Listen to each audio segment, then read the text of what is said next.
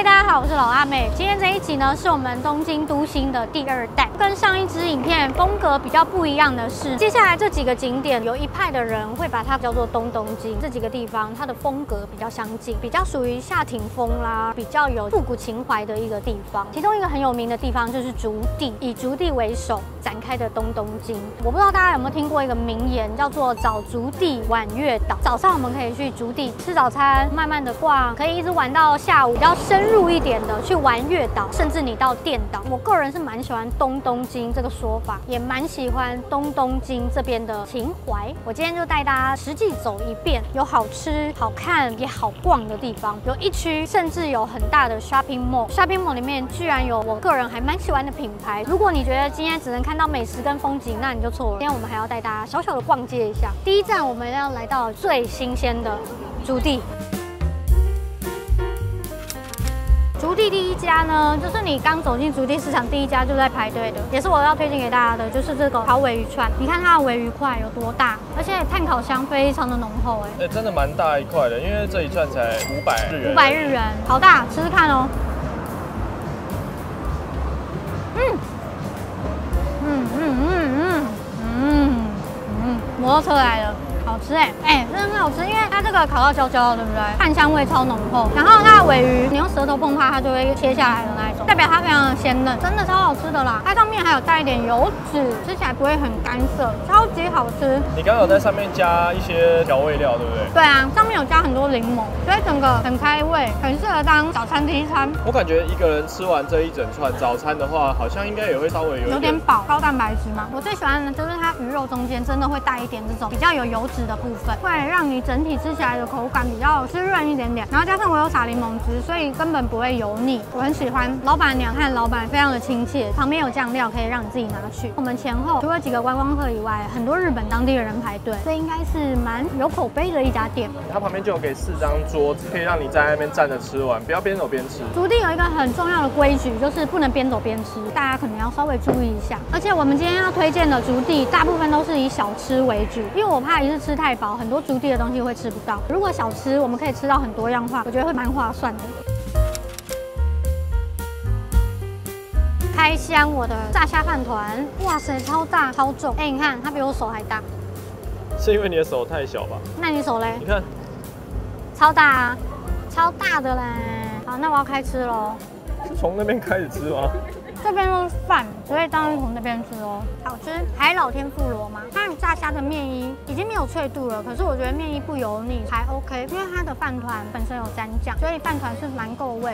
酱油是属于咸香的那一种，饭就是日本米嘛，粒粒分明，煮的非常刚好，完全不会糯糯的。我最喜欢的是它海苔是没有咸味，可是很容易咬断，好好吃哦，很香，海苔的味道非常的浓。我点的这个它就是炸虾天妇罗饭团，非常好吃。哎，你看它虾肉。不算大只是啊，可是保证新鲜，而且肉非常的嫩，我喜欢。重点是全部搭一起，那个味道是刚刚好，蛮厉害的哎。你看我一个人快吃掉一半，我死定了，我待会还要吃别的。这一家的饭团特色就是它每一个手握的三角饭团都非常的巨大，它是唯一一个造型不一样的。今天来的时候已经没有那么早了，我最爱的半熟玉子烧饭团已经卖完了。如果你没有看到半熟玉子烧，一定要买。咬开以后，里面那个温泉蛋它会流，会流心。对，它会流心哦，不要再 Q 哥哦。个人是觉得来足地呢，你不要吃太饱的话，两个人合吃一个，分量还是算刚好。很推荐大家来买这个玩风饭团，一家老店。我觉得在这边吃很多美食，一定要喝一个比较清爽的东西。我私心推荐这一家抹茶给大家喝。这家抹茶超多人排队的，它有抹茶拿铁跟抹茶两种。然后抹茶拿铁你还可以分 one shot 或 two shot，就看你喜欢的浓度。刚刚吃了蛮多油的，比如说那个烤尾鱼蛮油腻的，所以我想喝一个纯抹茶来解解腻。让我来踹踹。我我跟你们说，超浓，但是它完全不会苦涩，不会像有些抹茶粉蛮苦的。它是无糖的，完全不加糖，喝起来非常非常的清爽，蛮好喝的。我点的是纯抹茶，没有加那个牛奶。这一杯多少钱？六百五十元，所以大家如果有来的话呢，可以来试试看。我觉得这样超级无敌浓。然后他还有多送我们一个这个这是什么？小仓红豆。怎么那么好？对啊，就是这种小甜点配抹茶，一杯很绝配。我很喜欢这一家，而且他们虽然人很多很忙，可是他们的态度都非常的友善，所以我真的大推。我觉得它的设计还不错，因为它做饮料的过程很疗愈嘛，然后它就直接是开放式的柜台，就直接在排队人潮旁边做给你看。对，他就直接抹抹茶给你看。对啊，很优雅，对不对？我觉得还有一个好处，它这有个好处，就是你滴到衣服的时候看不出来。对了，我还有一点要跟大家讲，竹地市场有一家非常有名的老咖啡店，叫做米本咖啡。米本咖啡就是当地市场工作的人早上起来都会来一杯的咖啡，很有名的老店，在竹地市场外跟竹地市场巷弄内都找得到这个店家。我们看到米本市场最好找的就是在这一家抹茶的斜对面就有一家，所以如果大家不喝茶的话，可以来斜对面去喝米本咖啡。然后我要推荐大家他们的咖啡就是黑糖蜜咖啡，非常无敌好喝，就看你要清爽的。还是加点甜的黑糖蜜咖啡，对对，呀，米本咖啡。哎，好大一颗！哎哎，牡蛎魔人就是你，所以帮你找一个这个。哎，这我不敢呢。但是我觉得应该很多人很爱吃这个生食的牡蛎。这整颗比你的脸还要大。但是我没有办法吃给大家看，我没办法表演这一题，所以我就交给牡蛎魔人。等一下，为什么叫牡蛎魔人？我有爱吃到是魔人的地步。有，来，你帮我拿着这样。好，好。牡蛎魔人来喽！谁跟你魔人？哎，我很少吃这么大块了，但还不错。它应该是死了吧？没有啦，我刚刚还看他活跳跳。真的假的啦？开玩笑的，啊，死了。只是它就是生食，它没有煮过啊，汁蛮多的，一口吃。好哦。来。嗯，安娜，超新鲜。真的吗？完全没有腥味，真的不夸张。这一个多少钱？你记得吗？一千四百日元。应该还蛮值得的吧？这么大块，好吃吗？这边还有一点这个，这个是精华。哎，因为你刚好加一点柠檬汁，对，有点提味，所以我觉得还不错。它完全没有腥味，够鲜就对了。OK，七根水产就是我推荐给大家，因为来竹地你就是要吃一些现剖现杀的海鲜，因为它的乌尼还有它的大牡蛎都是非常多人觉得鲜度一级棒，很新鲜啊，我觉得蛮值得了，一千四百块，大概就是三百块左右一颗，我觉得可以值得来。我觉得 OK 吧，如果那么大颗来说，大颗啊，OK 因为我在台湾吃过稍微小一点的，台币也要两三百块，甚至三四百块，还不错。走，我们继续吃，超饱。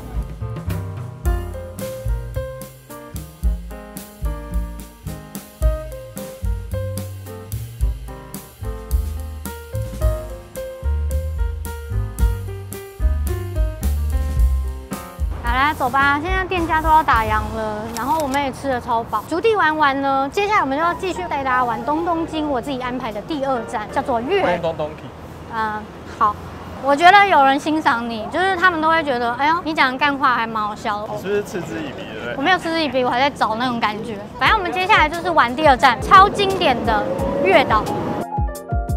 好的，我们现在呢来到了这个地方，叫做月岛西众通的商店街。月岛跟竹地其实距离非常的近，如果你走路的话，也只要二十分钟。那如果你不想要步行，你可以从竹地搭捷运过来，然后一出站就可以到月岛这个西众通商店街。刚刚说过还蛮快的啊。对啊，超一站，也就是说顺行来月岛，那我觉得你就是必须要做好连续吃两餐大餐的觉悟，办到吗？可以的，就是比较内行的玩法会。是就把这两区一起的玩掉，找竹地玩月岛，就是这个概念。然后月岛这个商店街，我觉得它非常的有味道，是充满人情味。月岛虽然也在东京都心内，可是你到这边你完全看不出来，它充满了生活感，有点代入感。我个人是蛮喜欢来这边慢慢的玩，慢慢的吃，慢慢的逛。然后月岛西仲通商店街很酷的是，它是下午三点之后店家会陆续的营业，因为这一条街叫做文字烧街，直直的一条路就有七十家的文字。烧店呀，七十家。对啊，其实月岛的代表性的名物就是文字烧，然后文字烧又属于东京的名物，像大阪就叫做大阪烧，东京的话就是文字烧出名。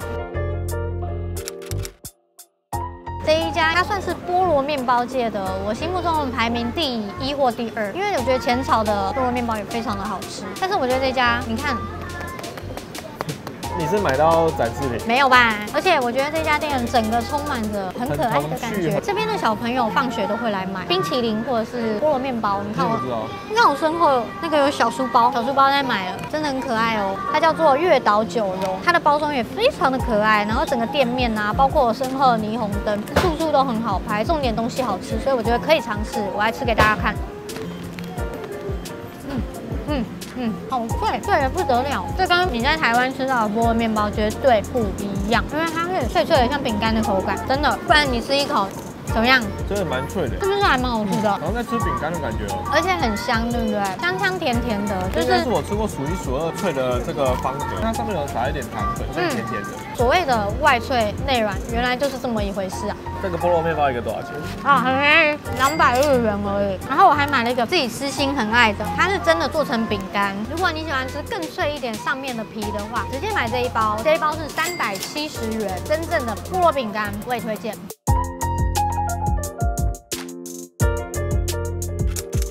重头戏来了！我们现在来到这一家呢，店名因为是全日文，我不会念，可是我们会把资讯放在资讯栏给大家看一下。哎，这家店超厉害的，因为它的评分有两千多折，然后超过四点五颗星，哎，你不觉得很强吗？刚刚光是经过的时候就看到这家店的客人应该是最多的。我们刚刚看他表演了一下，然后个文字烧真的是超酷的。文字烧的意思呢，就是跟大阪烧有点异曲同工之妙。它就是把面粉溶于水，然后连酱料啦、调味料全部都融在一起，然后才到铁板上去弄熟。可是它的面粉的比例比较低一点点，我们吃法就会等它稍微再焦一点，然后从最外面开始往内吃。知名的小铲子就是它。那旁边这些酱料呢？旁边的酱料你就可以自己加，比如说有海苔粉啊、盐啊、酱油、七味粉都可以自己加，就是看你的个人的口味。它的调味偏比较清淡，依你自己的口味去加重。我们今天点的是有明太子，然后还有加 cheese，还有马吉。他说这个是店内最热门的一项菜单。你看它现在一直在冒泡泡，然后 cheese 都融化了，而且你看他刚刚把一大块明太子弄得非常的散，所以你现在看到面糊上一粒一粒的都看得到明太子的颗粒耶。刚刚帮我们炒那位小美眉蛮可爱的，他们店员都还蛮亲切的，我蛮喜欢月岛这个地方，一切都充满了人情味，然后满满的客人都是以日本当地的人为主。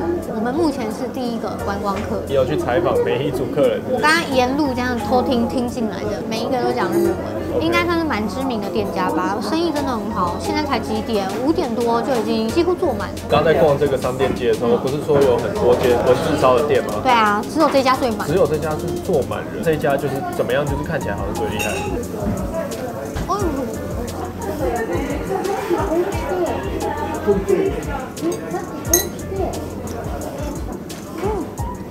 超级好吃，明太的味道超鲜美，而且因为它加气死了，我觉得咸度很够，我没有在开玩笑，真的很好吃。背面已经有点焦，所以我觉得现在吃。真的是正是时候。表面是面糊感，可是下面是脆皮感，很好吃。焦焦脆脆的，嗯，我觉得月岛啊，对我来说真的是一个非常有风味的地方。不管它的文字少，或者是整个街道的感觉，跟当地人给我的一种感觉，我都觉得还蛮喜欢的。不同于东京都心比较快速的感觉，这里比较慢。加上今天稍早的时候，我们先去电岛走了一下，月岛跟电岛都是可以顺便一起玩的地方。电岛它是在月岛的西北端这边一点点，它真的是一座小岛。月岛跟电岛都算是海浦新生地。电岛我觉得它的特色就是那边的人的生活感更重，几乎没有游客会踏进去。你有机会去逛一逛的话，我真的觉得还不错。那边不论是樱花开的感觉，或是公共澡堂，还有尽管它是一家小花店，我都觉得随便一个角落，那是城市最美的一块风景。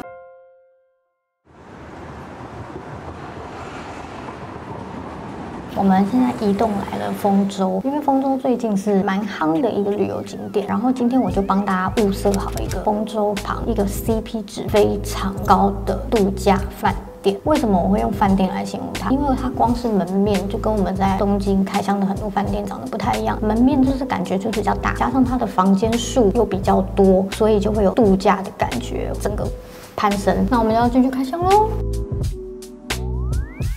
超大，这房间应该开三个行李箱全开。好啦，太夸张了，两个行李箱全开应该没有问题吧？这个走道，因为房间很大，整个度假感会比较高。然后我们一进来看到该有的镜子也都会有。先来看一下整体环境的空间，房间真的感觉很宽敞。最重要的对外窗也有，看出去都是高楼林立，整个氛围还不错。你知道这一晚多少钱吗？不知道啊，这一晚超便宜，折合台币大概三千三百元，三千三，是不是很划算？上次尺寸的房间，对啊，上次我们在上野旁边开箱的那一间也是三千多嘛，这间是三千三，而且它其实离丰州的车站并没有到非常的远，我觉得还 OK，因为我们最近都很常会收到很多人资讯问我们来东京怎么选饭店，然后到底怎样选饭店会比较划算。我要跟大家分享一个我自己平常非常爱用的 App，它叫做 Shopback。当你透过 Shopback 去打开你的订房网站，或者是打开你的 KKday，你的每一笔消费它都会回馈现金给你，到时候那些现金全部都可以提领出来。对我来说，我觉得现金的回馈是最有感的，不要再给我什么折价券啊，或者是抵消。对我来说我还好，因为我真的很喜欢有实质回馈的感觉，所以我会比较爱用 Shopback。使用方式就是呢，我会透过 Shopback 点击 Shopback 去打开 Booking.com，然后去搜寻你想要订的饭店，就是跟你平常使用 Booking.com 的方式一模模一样一样。因为有时候它上面会有一些限时的哈数增加。说到这，你知道我那时候订的时候我几趴吗？我当初有两百多的时候，我是因为订到了九趴的优惠，因为我很爱旅行嘛，所以我就常常打开 Shopback 去浏览一下。你看 Booking.com 它是五点五趴，可是我当初订的时候它是限时九趴的回馈。我看到九趴回馈，我立刻就在那一天购买今天这一晚的房间，所以我会高达有两百多块的回馈。九趴其实就是将近九折，扣掉百分之十哎。只要你累积的回馈金额达到两百元，可以设定你自己习惯用的账户，就可以提领出来。来现金回馈真的比较有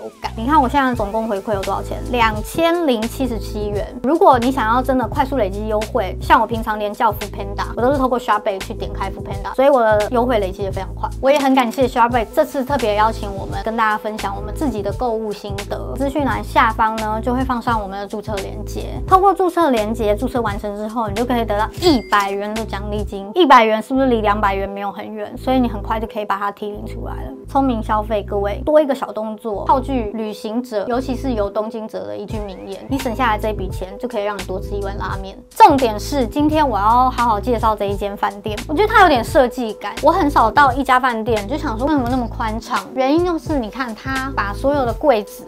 都做可以按压就打开的部分，这超酷的，它连鞋把都可以藏在里面。他也把这个茶壶啊、茶杯啊，全部都藏在里面。可惜冰箱有点太厚了，藏不进去。这里还有很贴心的化妆镜，化妆镜可以在那里化妆？你看，神奇的来喽！这边居然有桌子，你可以坐在这化妆，这样子 CP 值高一点，比较平价的。如果有这样，我会觉得蛮惊喜的。还不错。总之，我觉得这里的一切都非常有设计感，而且我觉得它很棒，很像度假饭店一点，就是因为它的二楼居然有大浴场。你是说大家一起脱光光洗澡那个？对，大浴场，我觉得还不错。虽然东京也有一些饭店也有，比如说多美营饭店，它有大浴场，个人觉得蛮有度假感。它也蛮特别的，有些多余的备品都要到楼下拿，比如说牙刷，还有梳子，也是提倡环保的概念。然后这个床的 size 也还蛮大的，很宽哎，size 了吧？我觉得很棒。你看那两个枕头，距离这么远。吵架人很适合。然后床头 USB 孔啊，等于说它一边就会给你一个。整体的设置也是蛮优雅的。你可以去看一下后面的墙壁，我觉得它的质感还不错。你是说这个对不对？对啊。它的壁纸选用的还不错，觉得蛮有品味的。然后它的浴袍也是深蓝色的，这是港边嘛，整个有海洋系的感觉，蛮有质感的，棉麻材质，我觉得应该还蛮舒服的。冷气空调声音很重要，我现在真的是完全没有听到，还不错。然后浴室我觉得很棒的是，它干湿分离做的非常的彻底，不会是用浴缸。然后一个门帘就把它隔开的。大部分我们现在住到东京很多便宜的饭店，它的干湿分离都是用浴帘。没办法，因为日本寸土寸金，所以它要有浴缸，又要做干湿分离，大概只能用这种方式。所以我觉得这里的质感啊、环境啊、清洁度啊、微微的设计感，个人都觉得还不错。然后小柜也是蛮优雅的。吹风机是什么牌子？有时候吹风机也是一个蛮重要的一件事。OK，只要是 Panasonic 我都给过，基本要求。这一间是不是真的还不错？重点是这里。离丰州市场也不会很远，所以明天可以早起去吃海鲜，去丰州市场饱餐一顿。哟，大家早安！我们现在来到了丰州市场，丰州市场在后面，可惜天气有点不好。今天我们最主要是过来吃早餐，因为丰州市场的海鲜非常的丰富。不过实在没有办法太早起，一定吃不到寿司大，所以干脆果断放弃。毕竟丰州市场的其他海鲜应该也都还不错吃，我们就来帮大家收集一下。来丰州市场东西这么多，到底要吃什么？因为它非常的大，然后它有分区的。我们主要逛的会在五街区、六街区跟七街区。如果你时间有限，不想要逛那么多区，直接锁定六街区，就可以把你想吃的寿司啦、海鲜冻啊，跟甜点都吃到。但是七街区也有非常好吃的炸天妇罗名店，叫做爱阳，以及很有名的百年甜点店。我们后面那一栋是七街区，然后我们现在要去主要的那一栋是六街区，在七街区的正对面。六街区其实就是大家最喜欢的寿司大就在这边。丰州市场它表定是三点关门，大部分的店家是开到下午两点就会打烊了。建议大家真的要提早来。这一区呢，我个人私心推荐的，除了生鱼冻饭之外，还有一家就是吃茶老店。那家老店铺也是非常历史久远。嘿嘿，这个东西呢是我在网络上看到的文章介绍，说来这边应该可以点点看的一道料理。但是说真的，我们不管是看菜单或者是看本人，我还是不知道它是什么东西。我还蛮好奇的。看起来其实有点像是一碗浓汤，很浓很浓很浓很浓很浓很浓很浓的浓汤。然后它附了一个半熟蛋，应该是温泉蛋的样子，白白胖胖，很疗愈吧？待会试着把它切开，弄漂亮一点。其实它闻起来非常香哎。嗯，洋葱味，好好吃。所以它到底是什么？因为它里面有炒过的甜洋葱，第一口吃到的时候就是非常香甜的洋葱味。其他的口感像这个黄黄的，它就是真的是非常浓的浓汤。面糊的感觉更接近。这家咖啡厅叫做千里轩吃茶店，以前在竹地市场它就存在了。竹地市场工作的人都会早上起来喝咖啡吃早餐的地方。这个东西就是因为早上起来工作需要很多能量，所以有蛋，这个浓汤很温暖，也吃得饱。通常别人会吃这个搭上一片厚片吐司，这边的人很喜欢这样搭配的一个早餐 set。嗯，马铃薯块在里面，真吃得饱的一道汤品，像重头戏，那我化开哦。哦哦，看，漂亮耶！好吃。日本的蛋呢，蛋黄比较不会有腥味，口感比较滑顺。嗯，因为有马铃薯块，吃起来会比较带沙沙的感觉，可是加了蛋黄就会整体更滑顺，好吃，我喜欢。这道不错，真的可以来吃吃看。丰州市场千里轩。呢，我就是冲着这个造型来的。我在网络上看到这照片，被它萌到，很可爱耶。这是什么口味？他们家只有一种口味的冰淇淋，就是咖啡牛奶。毕竟千里轩就是卖咖啡的嘛。说的有道理哦。咖啡味很浓郁，它的咖啡味是那种咖啡欧蕾，那个甜度跟口感一模一样，很赞。好，就这样。你很漂亮哎。对啊。嗯，非常顺口。我觉得这家的东西蛮特别的，就是不管是热食或甜食，吃起来都是滑顺滑顺，很顺口，很舒服。包括整家店的灯光啊、桌椅的感觉都是温暖色系，所以我还蛮喜欢这种感觉。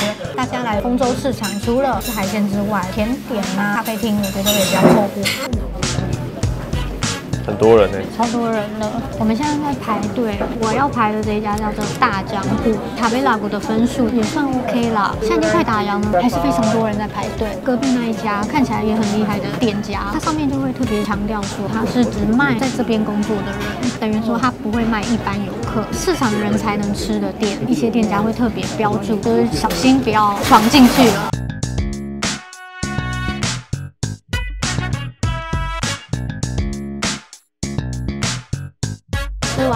我觉得分量有点太多哎，对女生来说。我有特别跟她讲，因为她没有所谓的大小份，她是说她饭会帮我弄少一点。可是我跟你讲。好多鱼多饭多，我点的那一个算是他们店内的基本招牌，就是有各种不同的尾鱼组合成的冻饭。它比较特殊的就是用尾鱼的骨边的肉，所以你可以吃得到比较不一样。据说那边的肉很嫩，可是说真的，各方面尾鱼比较大块的，其实我吃起来都还蛮嫩的。我个人是觉得新鲜度没有问题，非常好吃，只是分量有点太多，对女生来说有点吃力。你点的那一份是比较豪华的，你的那个吃法很特别，它就是主打海鲜珠宝盒的概念，它有两种吃法。第一种就是你先把你的海鲜全部夹到他给你的小碗里面，先用小碗品尝，吃到一定的量时候，把他给你的高汤加在你的大碗里面，就变成茶泡饭。或者是第二个，你就是直接用大碗直接吃，再把他给你的鱼贝高汤倒到你的小碗里喝汤。来这一家应该会吃太饱，可以撑到晚上再吃晚餐。它的生鱼片真的是蛮新鲜的，像你说的，这里是市场生鱼片，跟我们在东京吃到的握寿司啊，吃起来真的是完全不一样的东西。鱼类都很新鲜，我吃了乌泥跟干贝。另外讲到干贝，哦对干贝很好吃，我觉得它干贝非常的好吃，海胆也很新鲜。我们两碗是六千块。两碗六千，不便宜。其实算便宜，两个这样子高级的冻饭，新鲜的生鱼片，两个六千，其实两个人才一千多块台币。对，牛舌定时，我们两个人吃完也五千多，所以算便宜。重点就是不管男生女生都会吃太饱，我觉得这就是来自市场的热情。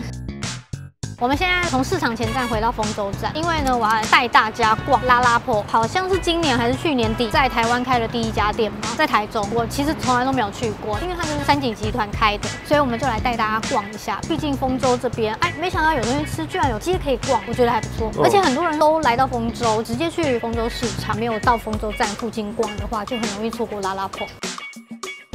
这家店就是比较休闲风格，它叫做 Freak Store 日式休闲风，所以它会有一些 outdoor 的东西，还算蛮有质感的。outdoor 是各种品牌的 outdoor 都会出现在这，有点类似选物店。你看，很可爱啊，就是一些锅具啊、盘子，然后一些毯子啊，反正就是 outdoor 系的东西都有。然后衣服的风格，有些我也觉得还不错，带大家逛一下。你看，可爱耶，这种衣服背后有这样，然后做的有点娃娃装，还不错。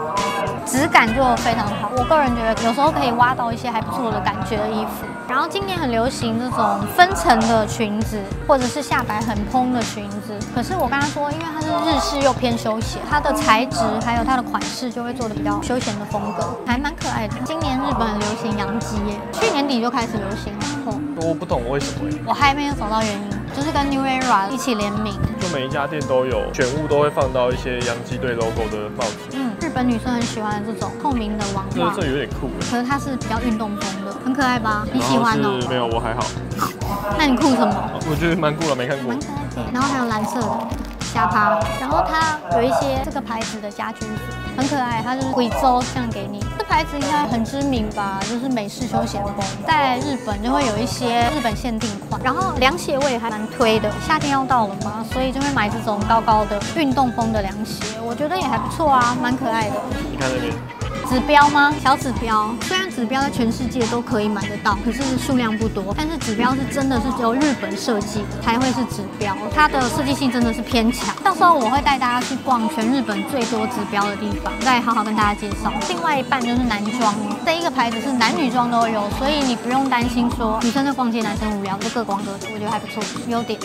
我在刚刚那一家店买了一条项链，价钱不能讲，因为我妈会看。就是这种，如果你穿比较素面的洋装，这样别就很可爱。逛完第一家，我们慢慢走。台湾也非常熟悉的品牌 Urban Research，这个是其中一个系列叫 Doors，店面人还蛮大家的，也可以慢慢进去逛一下。接下来呢，我要带大家去逛一个我很喜欢的牌子，因为这边是三井集团开的，所以你平常在三井体系的 Outlet 看得到的品牌，基本上这边也有 Loris Fun、Nico M 这边也有。可是现在我要带大家去的一家店是台湾都没有，可是我个人很喜欢，也是偏休闲风格的。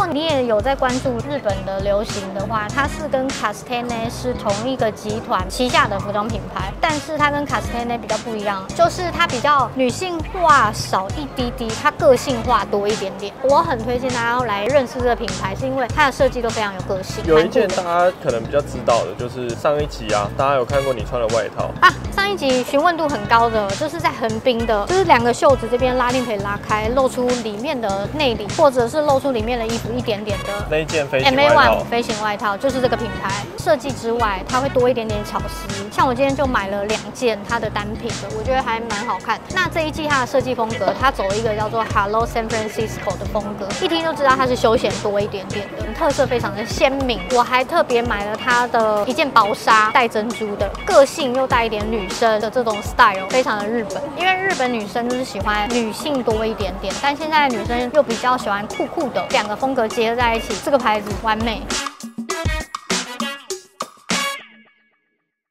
我我觉得丰州有一点蛮令我惊喜的地方，就是我觉得这个城市蛮漂亮的，就是不输我们之前去的横滨，好未来感哦，其实很未来感，加上下雨起雾，我觉得整个都市氛围有点神秘，可是又有点科技现代，我很喜欢这种夜景。丰州住一晚，隔天继续逛，我觉得这样玩起来真的蛮充实的。第一次听到你说丰州跟竹地的时候，我的想象就是市场。可是你们看这后面的风景，有百货啊，然后又有大城市啊啊，其实蛮美的啦很。漂亮，加上丰州还有 TeamLab，就是一个非常值得去参观的展览。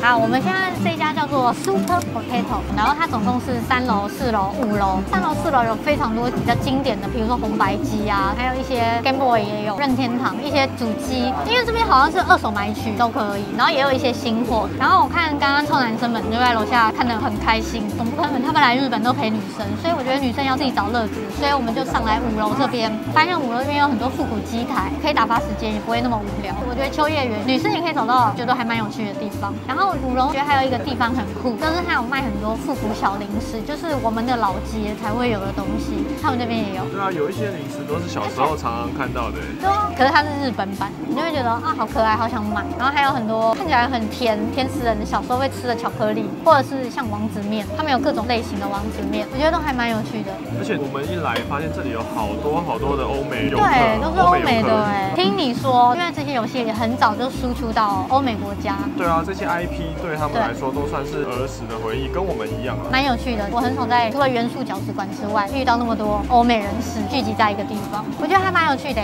其实楼下刚刚说到复古电玩啊，二手电玩，它厉害的是连卡带都还有。超多哎、我是有听说，可能嗯不一定是原本的机器，说不定有一些机器是代工厂再造，但是它可以还原这一些儿时的东西，现在其他地方也找不到啦。可以过来玩玩，因为我觉得秋叶原本身就是一个特殊文化的地方，我还蛮喜欢的。在这边还可以找到非常多可爱的公仔，所以我们现在来去找一下。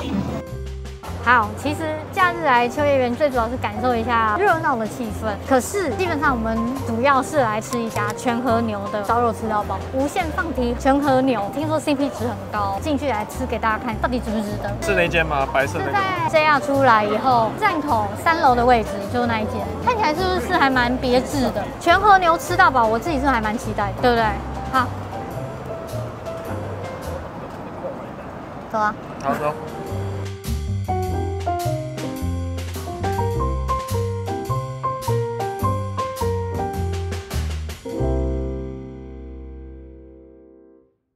刚才去吃了那一家秋叶原店，哎、我觉得我有瞬间回到台湾的感觉，因为里面的桌数很多，但是至少我的前后左右全部都是台湾人，所以我觉得这家店应该就是台湾人的爱店。它跟我们上次吃上野那一家有一个很大的不同点，除了它真正有些和牛的部位之外，有些部位也是偏瘦，所以会有点比较柴。两家同样都是一头买，整头牛都有，所以你要吃各个部位都吃得到。然后其实店内的标识也都还蛮清楚的，它食用的方式也蛮特别的。肉是要到柜台领取，你要先选盘子大中小，你可以无限点。其他的部分，比如说菜啦、酱料啦、饭啦，你都是要在桌上用平板点，这个还蛮有趣、蛮方便的。饮料也是自助吧。肉呢，有些有腌制过，所以就是不用额外调味。我不知道你觉得好不好吃？它有些肉是算真的蛮好吃，我可以理解为什么台湾人会爱吃，因为它的口味真的是台湾人比较习惯的口味的烧肉，它并不像我们吃过的一些平价的日本烧肉，它比较咸，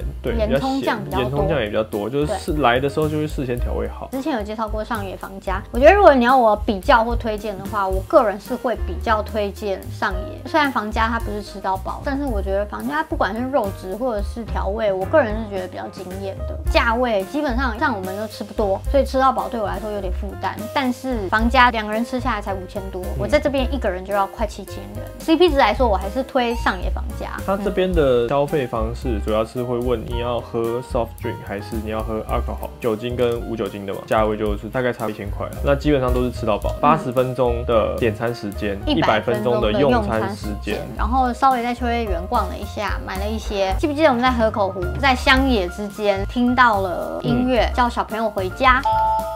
嘿嘿，哎，它这只有四款哦，然后四款我们扭三次，竟然扭到三个不一样。对啊，它扭了一个就是这很酷，好不好？这叫做紧急状况的装置，好不好？Emergency，然后你可以扭下去，对，就这样没有用，小废物。所以呢，现在我们就在这边呢放点回家的音乐，告诉大家，我们这一集的东京都心第二弹呢，也差不多告一段落了。希望我们接下来推出也是很精彩的东京都心第三弹，大家也会喜欢。可以先预告一下，也是有大家比较常去的观光景点，让我们也帮大家做了全新的规划，因为我个人觉得真的蛮精彩的。OK，老辣妹东京都心第二弹，我们就在这边跟大家说拜拜，再见喽，拜拜。